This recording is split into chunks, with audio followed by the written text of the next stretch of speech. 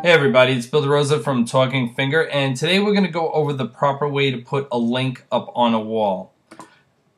Now, when you go in here, I'm just going to copy and paste. Now you notice I typed my Facebook page, and then there's the link to wherever I want it to go, whether it's a website, wherever this is, any kind of URL link. Now you also notice it's linked down here. Now most people are going to end up posting this, just the way it is, and now notice that there's a link here in the conversation and there's a link down here. So it gets a little sloppy looking after a while to see a lot of posts with hyperlinks like this when there is already one here. So I'm going to show you what you can actually do. I'm going to delete this quick. Delete. And I'm going to copy and paste again. Paste. Now notice a link box opens up in here. Now once this happens, you no longer need this URL. It means it has grabbed it. So what you're going to do is you're actually going to highlight the URL. You're going to delete it. And now you're going to post.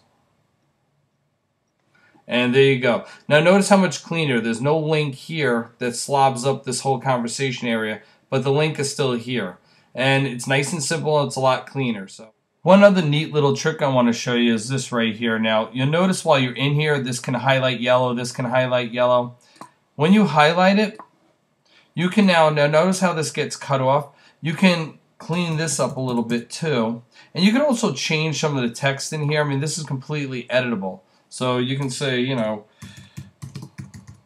for all I care. And same thing with here. You can change what this is. You can say our Facebook page you can type in whatever you want. So these are fully customizable. Also notice there's a thumbnail thing right here. Now this only found one thumbnail, but sometimes it's one of two, one of three, one of four. You can actually go back and forth between these arrows right here and choose other thumbnails. Uh, and if you can't find the one you like at all, you would simply do that, but notice it takes the graphic away.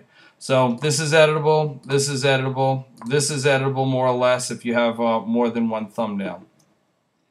Uh, any questions at all, come to our Facebook page. It's facebook.com forward slash talking finger. Thanks a lot and have a great day.